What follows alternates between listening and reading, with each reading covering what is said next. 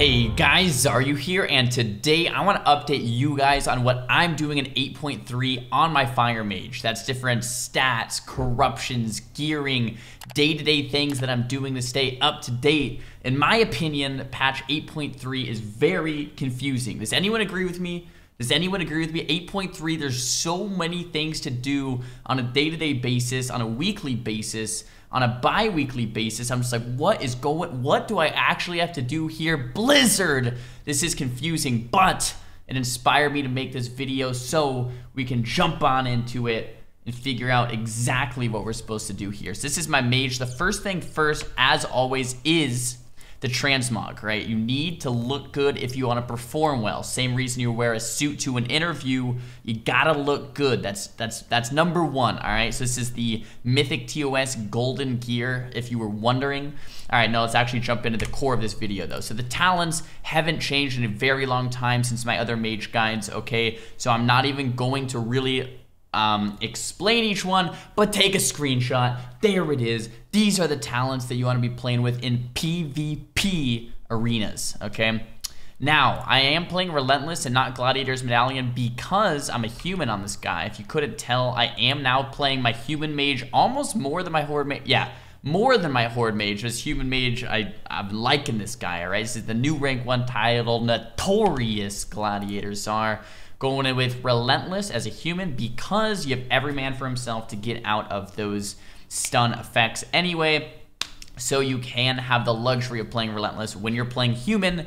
If you're um, any other race, though, you want to play Medallion. And if you're Horde, you want to play Orc. If you're Alliance, you want to play Human. Other decent options are Night Elf, Mechagnome, and on Horde, yeah, you really just want to be Orc. Um, Okay, so for my talents, I'm playing G-Pie Flame Cannon Temptree. A little bit different um, here on the PvP talents.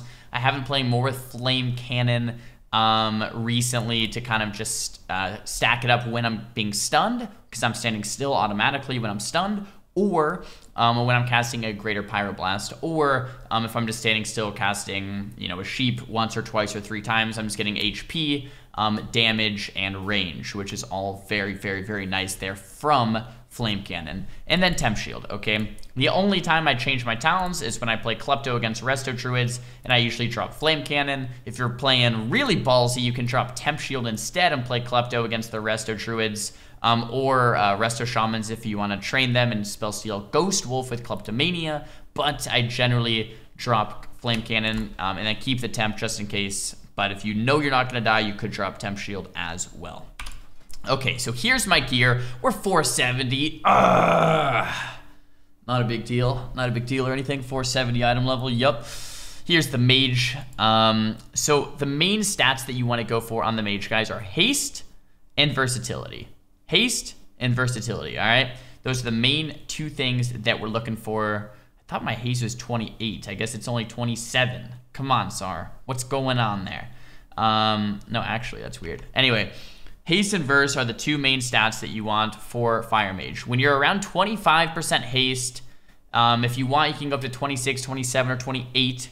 When you're around 28% haste, you can DB Sheep a Relentless target, which is nice, but not necessary okay? So I like to play around 25, 26, 27% haste, and then all versatility from there, okay? Crit and mastery don't matter that much at all, like really, like they just, crit almost does nothing, right? Because you have 100% crit with combust anyway when you're bursting, and your fire blast is 100% crit anyway. Like it's it's it's barely helping you. So minimize crit as much as you can, really, and then mastery um, is pretty good actually, but versatility does just as much damage as mastery with the added defensive benefit from versatility um, to decrease damage taken. So versatility is just a better mastery, so you just want verse instead of mastery. But the stat priority goes haste, verse, mastery, and then crit. Um, like I said, 25% ish haste and then versatility from there. These are great stats. Like this, this mage is looking good, man. 27 haste, 19 verses is exactly where you want to be at. If you can get even higher than that, kudos to you. That's insane. Okay, so right now I'm playing with tailoring. Okay, with tailoring, I can craft gloves and legs with haste verse socket. That is bis. Okay, now this is um, going to be a little bit confusing, but try to stay with me. In the expansion, you can get Kul Tiran tailoring um, you level it up to 175. You can look up a guide on how to do that. When you kill anything in a minor vision or just random mobs in Uldum, you're going to get two different things. The first is going to be a recipe for Void Focus, okay? The recipe for Void Focus is going to allow you to craft the good gear. To get the splinters, you kill a bunch of random things, you get them really fast in the visions. 10 Void Focus splinters, you can make the Void Focus cool. Void Focus goes in the Heart of the Azeroth place. Once you get the Void Focus, then you can craft uh, I believe it's these guys here, the 440 socketed random stat legs. Requires void focus. You get all the mats, you get the expulsom, you craft these. When you craft the 440 legs, you automatically get the recipe for the 440 or 455 legs in your inventory.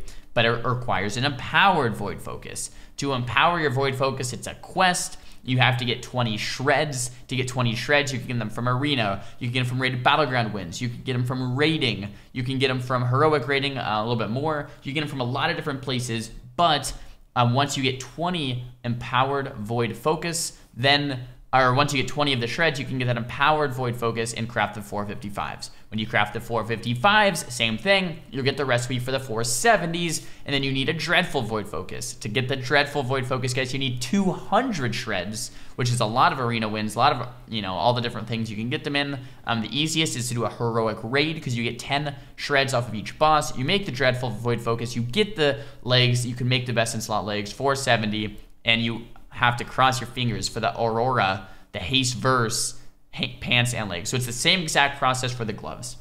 Um, also, I'm engineering on this guy. Same exact process. I'm not going to explain it again. You get the you get the 445 helm, the 460 helm, and then the 475 helm. Same thing here. You can get the pretty solid 480 helm right away. Now, this helm doesn't have Blaster Master on it. I'll cover the best traits here in a second. It doesn't have Blaster Master on it, but it um, so you could go with that, this helm right here with Wildfire Blaster Master instead, but it does have a really good defensive benefit from the um, auto self cauterizer right here to remove bleed, so it's really good against ferals and assassination rogues to remove all of the bleeds. Okay, so you kind of know how to get the gear a little bit. The rest of this gear, and this is my major gripe, okay? Can I get 30 second rant? 30 second rant, all right? I'm a PvPer, and look where my gear's coming from. PVE crafted, PVE Mythic Plus, uh, crafted Mythic 15, World Quest, Mythic 15, Heroic Raid, Mythic. Oh, there's an arena piece. There's an arena piece. Haste for Socket. That's actually an arena piece right there. Mythic, Mythic, Mythic, PVE quest line. That's an arena piece there on the shoulders, but it's not best in slot and another crafted piece. So I guess my, my 30 second rant is why as a rank 1 PvPer, do I have no PvP gear on Blizzard? Can someone answer that question for me, please? But that's okay, all right, whatever, rant over. This is the gear. So anyway, I have really good gear, right? Haste verse socket, haste verse, haste verse, haste verse. Everything is haste verse. That's what you're going for. Uh, except my wand. My wand is haste crit. The only reason I'm using it is because it's 475 with um, ineffable truth. Truth. Truth. Truth. I said truth. Um, the best corruption, so this is probably like, I should have said this at the start of the video. The best corruption is, maybe we'll start the video with that, clickbait, um, is tier three infinite stars. If you can get tier three infinite stars, it's going to be absolutely pumping. Um, actually, I'll bring this up real quick. It's just a Wowhead link of of all the different affixes. But if, if you can get tier three infinite stars, it is going to do so much damage. Um, and I'm recording this video on February 19th. 2020. Wow. So that's um, if there's patch notes in the future, nerfing it, whatever. This is when I'm recording. Um, so Infinite Stars, guys, is the best thing that you could get for Mage. Um, the second best thing, um, or maybe tied at the first best thing, would just be versatility, flat damage, um, flat versatility. So increases the amount of versatility you gain from all sources. This is just good, and I actually have this on my ring increases the amount of versatility you gain from all sources by 6%. Only 10 corruption there on the ring. It is so good, man. So good to actually have that um, versatility. If you wanted, you could get the flat haste as well. Like I said, the best is haste and verse. So either haste or verse flat stat is very, very, very good for mage. And then the last thing I would say that's pretty solid is Twisted Appendage. And this is going to spawn Mind Flay Tentacles. So as a mage, you're looking for the Twisted Appendage, hopefully tier 3, Infinite Stars, hopefully tier 3, or the Versatility Flat Haste or Flat Verse. Those are the best ones you can get. On this mage, I have the Flat Verse and Ineffable Truth, so it's not very good, but hey, it's something. Okay. So we got corruptions out of the way. We got stat priority out of the way. As far as gearing, okay, so best in slot gear right now is coming from from the Mythic Raid. So, don't rage, Czar. It's okay. Um, the best helm you could get right here, 485 Wildfire Blaster Master Visage. This thing's insane. It has the best two traits. The best two traits for mages are Wildfire and Blaster Master. If you want, you could do three Blaster Masters, one Wildfire, and two Firemind. Or you could just do triple Wildfire, triple Blaster Master. That is really good too for PvP, one or the other. But that Blaster Master is very good. And unfortunately, on my mage, I have I have actually 475 chest, 475 shoulders, and a 480 helm, but I have no Blaster Masters, unfortunately, on any of them. So high high item level, but no no Blaster Masters. That kind of sucks. Um, the best shoulders, you could either get the ones from Carapace with Wildfire Blaster Master, or I think there's one from maybe another boss as well. The Cowl of Unspeakable Horrors works as well. So you just want Wildfire Blaster Master. Uh, you can get the one from Il'gynoth, the one from N'Zoth, the one from Carapace um, blah, blah, blah. But Wildfire Blaster Master, or you could do that other setup I mentioned as well. Um, and then trinkets. Trinkets are very important as well. Obsidian Claw is best in slot right now. It is insane. The reason I like it a little bit over the rut, uh, rot crusted Voodoo Doll is because it does damage instantly. So Voodoo Doll takes about two to three seconds to actually hit the target. So when you press it, it like travels slowly through the air. Um, but when it lands, it does a ton of damage over six seconds and an additional burst after six. So it's really good. The thing with the Clawman, is as soon as you hit it, it's at the target starting to take damage, and it does really, really, really fast damage. Um, it, it does it a little bit slower over 8.5 seconds instead of 6, but it's still really, really good. Um, I would say the Claw is best in slots. You want the Mythic one, socket it if you can, and it gives 12,000 mana back, which is not a big deal for mages, but hey, it's something. So I would go with the Claw and the Voodoo Doll um, sometimes, or I like to just play the Battle Master and the Voodoo Doll, or the Claw and the Battle Master rather, and then sometimes I'll go with the Safeguard and the Battle Master. But I'd say that my, my best setup right now is probably the Emblem and the Claw into most things is what I like to run um, as far as my trinket usage. So that's pretty much the setup. Um, for those of you wondering what UI I have on, by the way, I did update Zar UI. It removes the artwork. It adds these um, buttons to the side. It has um, most of the functions of the older Zar UI, but new and improved on the new version. If you want my add-ons, I think they're linked down below. It's just on my website, xaryu.tv slash add-ons if you did want to download that. And now we'll get into the essences. Man, these videos in 2020 are getting pretty long because back in the day I was just like, I would give you stat priority and that was about it, some talents.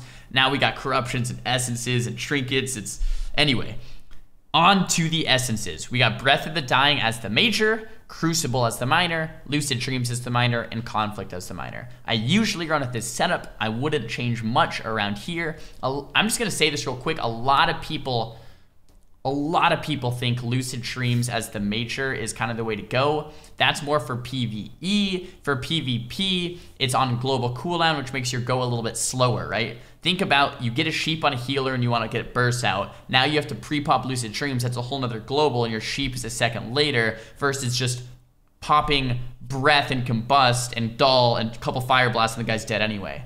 It's a little too slow, in my opinion. That's why I don't run it, and that's why most other rank 1 mages don't run Lucid Dreams Major. That's more for PvE. This is a PvP guide. Whew, got that out of the way. Same thing with the bracers, by the way.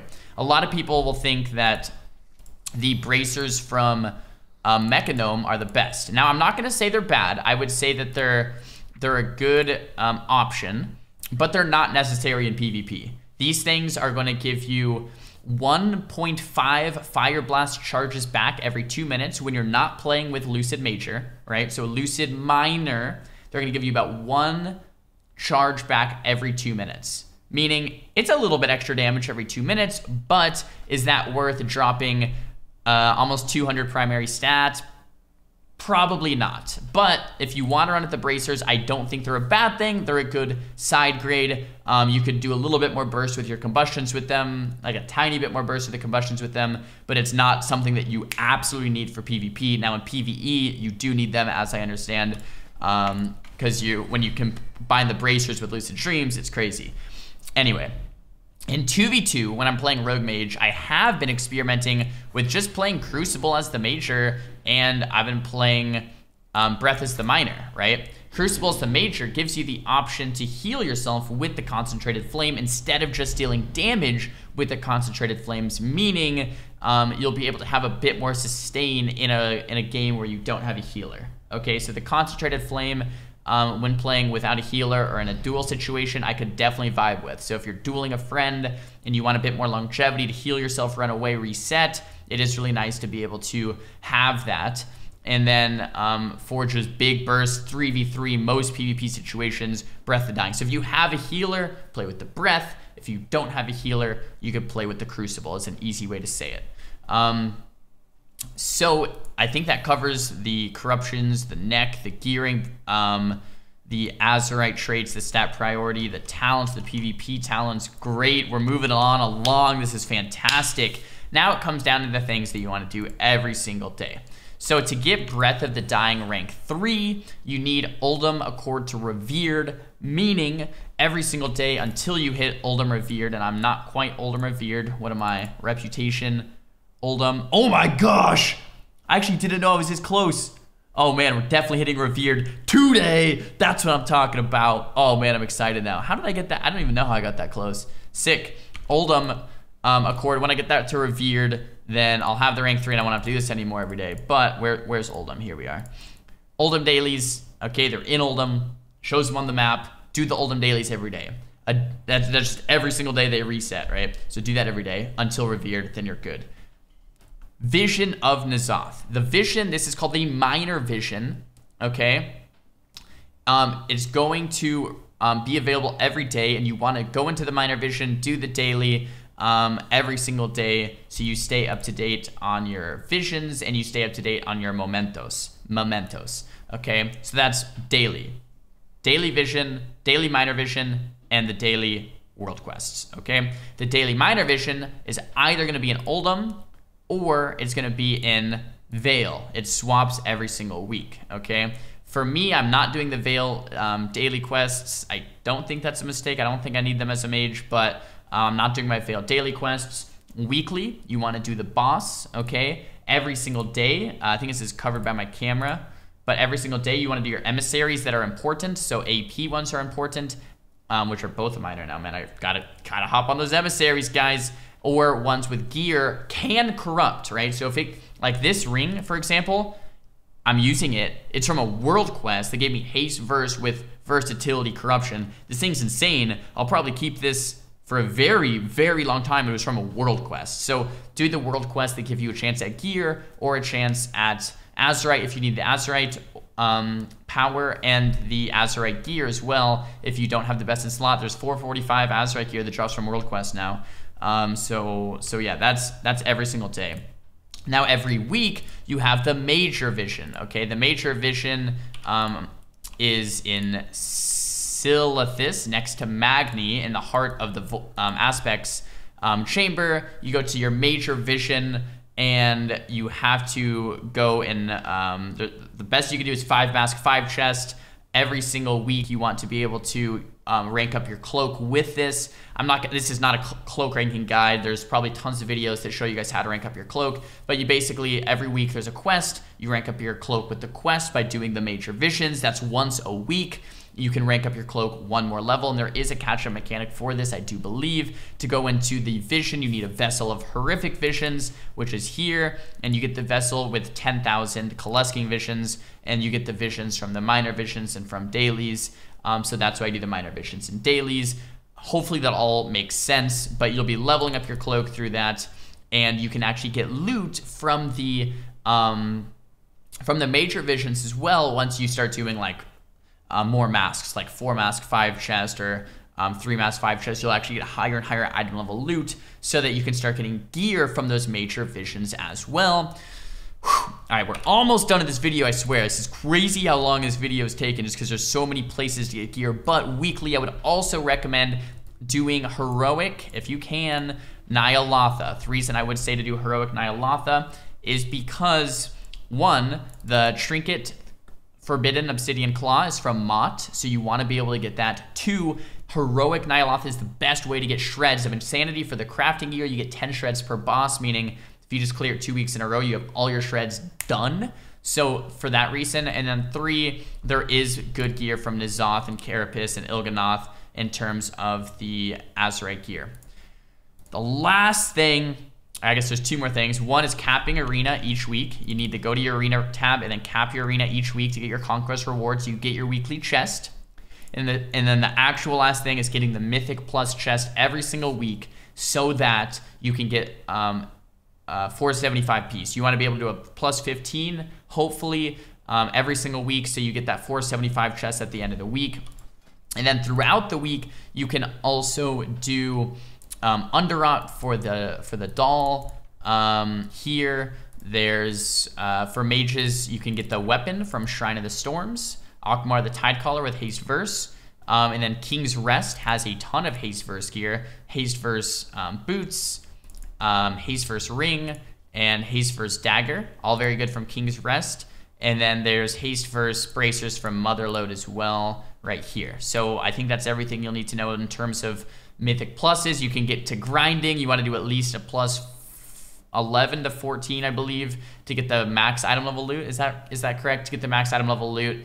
Um, for the dungeons, you can just keep spamming plus 15, uh, 11 to 14s to get the loot. You want to do a 15 every week to get the the ending loot, and yeah, it's pretty much it. So guys, I felt a big calling to make this video, mainly because of how long this video was. It is very confusing. There is a lot to do right now. In the past, it was super easy. We had a PvP vendor each week. You capped arena and you bought the gear you wanted, and that was it. Nowadays, it is very confusing. Major vision, minor vision, professions, shreds, void focus, um, corruptions, Azerite gear, necklace, cape, um, heroics, mythics, mythic pluses, all of this stuff. So I, I hope this video explains what you want to do as a mage right now, what you want to do every day, and then what you want to do on a weekly basis to stay caught up in the game right now to PvP. Now, I'm going to just be transparent and honest. I am very disappointed that as a PvP player, this is everything we have to do. The fact that the, there's a 22 minute video on how to PvP and I didn't really say much about Arena at all makes me sad. I hope Blizzard is watching this video. Blizzard, are you in there? I hope Blizzard's watching this video in, in, in the future and next expansions, we can try to make it so PvPers, you know, we do a little bit of PvE here and there, but it's mainly focused on arena and and vendors and buying the gear we want. And then you know if we if we hop into a mythic plus every now and then or a raid to grab a cool trinket i understand that as well. But the fact of the matter is right now as a pvper there is a lot of content to get done that is not PvP, but that's okay. We got it all done here on this mage. I'm working on it on my other mages and alts and um, and we're gonna be hopping into the arenas here shortly. Guys, I hope this video helped clear things up on how you're supposed to get gear, how you're supposed to get caught up in 8.3. If you guys enjoyed the video at all, make sure to give it a big thumbs up. If you did not enjoy the video, make sure to give it a big thumbs down. Talk to me down below in the comments about future videos that you guys want to see, and don't forget to follow me over on Instagram, where I do a ton of Xaryu IRL content, my workouts, um, food. You guys can see Shannon over there when we're planning for vlogs and other cool stuff. So definitely go follow me over on the Instagram. And don't forget to subscribe. See you guys in the next video. Peace.